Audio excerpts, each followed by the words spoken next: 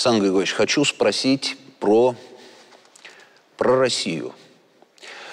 Вот до какой степени вы реально готовы к более тесной интеграции. Об этом говорят сегодня просто все, да, и э, уже какие только версии не выдвигаются. Поэтому хочется понять, вот до какой степени лично вы готовы э, к интеграции, что в вашем понимании это усиленная интеграция, и это важно и, собственно, для вашего электората такого, который с симпатией относится к России и всегда поддерживал ваши движения, которые вы делали на сближение наших стран. Вы знаете, на этот вопрос белорусы ответили на референдуме. Вы просто это упустили или просто забыли. Это было, наверное, полтора десятка лет тому назад, когда мы поставили вопрос об интеграции, экономической интеграции с Россией. И люди на это ответили положительно. Более того, мы пошли дальше, заключив договор соглашение с Ельциным, а потом с Ельциным договор и ратифицировали уже с Путиным договор о союзном государстве. Там было прописано все. Там мы пошли даже дальше. Мы прописали контуры. Почему мы говорим союзное государство? Это были контуры будущего государства союзного. Там же было все. Но последняя статья, по-моему, гласила так, что мы на референдуме в Беларуси и России должны принять Конституцию нашего союзного государства. Вы знаете, чего мы на это не пошли. Тогда все боялись вы, что Лукашенко прибежит и схватит шапку Мономаха. Что, не так? Ну, Антон, разговоры такие были. Были такие разговоры, но сейчас многое изменилось. Так сейчас, мне кажется, жизнь о, диктует уже свои какие-то новые. многое изменилось. И э, россиянам мозги это вбили, вбили э, и так далее и тому подобное. Вы не, не белорусы, не я не пошли тогда на референдум. Обстановка тогда была другая, правильно Терман сказал – а сейчас два поколения после этого выросло. Они другие. И сегодня невозможно уже ту интеграцию, интеграцию реализовать, которая была прописана в союзном договоре. Поэтому мы с президентом России начали обсуждать так называемые карты, чтобы приспособить к нынешним условиям и выработать в нынешних условиях новые пути интеграции. Это мы начали накануне парламентских выборов, они были в ноябре прошлого года, и вот мы влезли в президентские уже не до этого. видите, какая кутерьма. Кто-то кричит, а, сдает России, Беларусь, кто-то еще что-то там, и мы остановились. И, ваш вопрос, до какой степени мы с вами суверенные, независимые государства? Кто нам мешает быть суверенными и независимыми? У нас теснейшая кооперация экономическая. Кто мешает? У нас в военном отношении единая армия. Почему кто-то там на Путина э, накатывает, что он создал по моей просьбе какой-то там резерв, который, кстати, не использовался. Ну, дай бог, и использоваться не будет. Но это в договоре записано.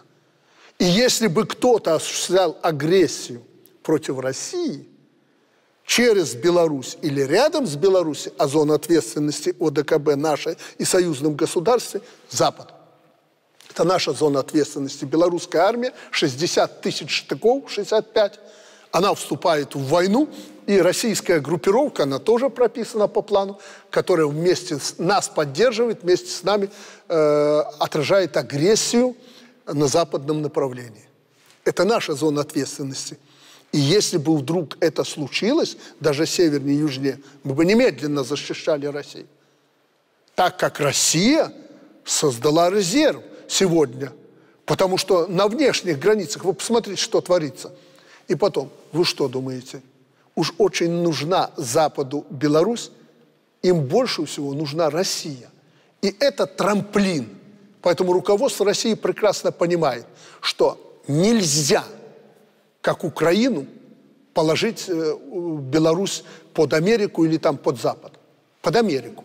Нельзя. Почему? Потому что санитарный кордон тысячу километров. Все это было в истории. Мы это знаем. Три прибалтийских республики, Беларусь, Украина. Отделяем от э, России. Кто его разрушил?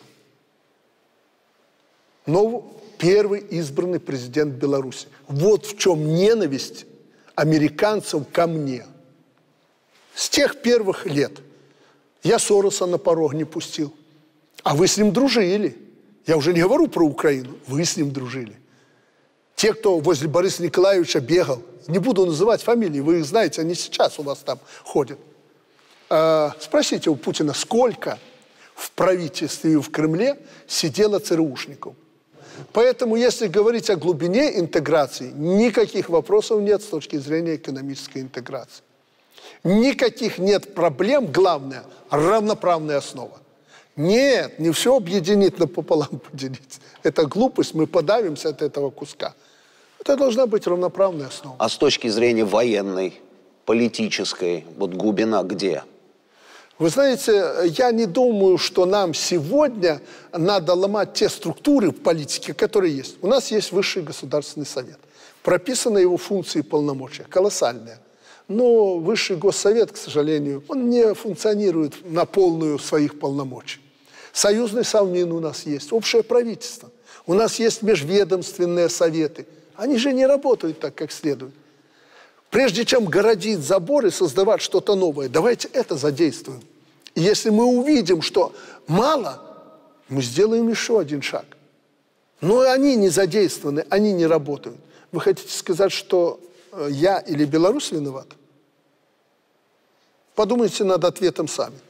Поэтому давайте вот от жизни идти и действовать так, чтобы нынешние политические структуры, которые у нас есть, действовали, там консенсус при принятии решений, там у каждого по одному голосу, э, два президента, два премьер-министра и руководители парламентов. Это высший государственный совет. Принимаем решение и действуем.